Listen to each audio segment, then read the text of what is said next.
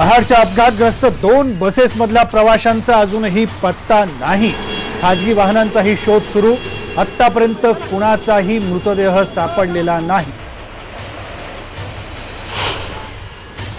गुहागरवरून रात्री जी एक टवेरा गाडी निघाली होती आणि त्याच्यामध्ये आपलं अख्खं कुटुंब होतं. चिपळूणला त्यांनी जेवण करून ते अकरा वाजता बरोबर चिपळून निघाले होते. आणि बरोबर याच पट्ट्यात त्यांचा अंदाज आहे की तेही अपघातामध्ये वाहून गेले असे त्यांची गाडी असं त्यांना अंदाज पूल वाहून गेल्यामुळे एक तवेरा गाडी ही झाली बेपत्ता. गुहागरहून मुंबईला निघाली होती तवेरा गाडी. गाडीतल्या प्रवाशांचाही शोध सुरू.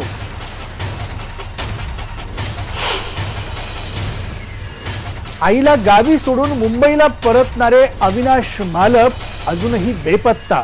Jaigad Mumbai central S T बसचा प्रवास ठरला शेवटचा. अविनाश सारख्या अनेक कुटुंबांवर शोकता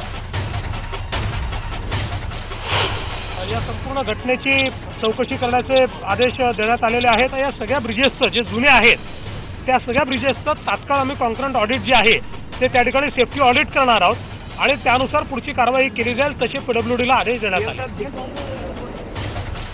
मुख्यमंत्री देवेंद्र फडणवीस यांनी महाडमध्ये अपघात स्थळाची केली पाहणी. घटनेच्या चौकशीचे दिले आदेश. कोकणातलं सर्वात मोठं शोधकार्य आयबीएन लोकमतवर तटरक्षक दल पोलीस स्थानिक रिव्हर राफ्टिंग आणि एनडीआरएफची शोध मोहीम सुरू.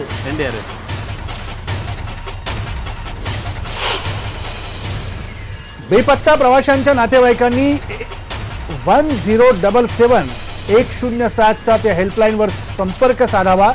रायगडच्या जिल्हाधिकारी शीतल उगले यांचं आवाहन. महार दुर्घटनेची मुख्यमंत्र्यांनी पंतप्रधानांना फोनवरून दिली माहिती. मोदींनी दिलं केंद्र सरकारकडून मदतीचं आश्वासन. महार दुर्घटनेवरून विधिमंडळात विरोधक आक्रमक. ही घटना हे राज्य सरकारचं अपयश. दुर्घटनेला राज्य सरकार जबाबदार विरोधकांची सरकारवर टीका. महार दुर्घटनेनंतर मुंबई गोवा महामार्गावरच्या छत्तीस पुलांचं होणार स्ट्रक्चरल ऑडिट एमएसआरडीसी मंत्री एकनाथ शिंदेचे आदेश.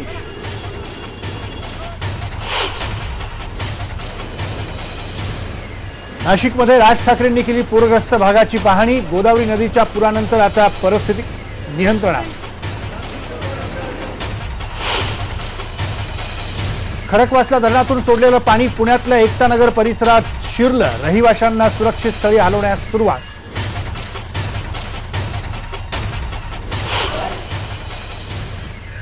आणि दुबईच्या आंतरराष्ट्रीय विमानतळावर एका विमानाला लागली आग. विमानाचं इमर्जन्सी लँडिंग.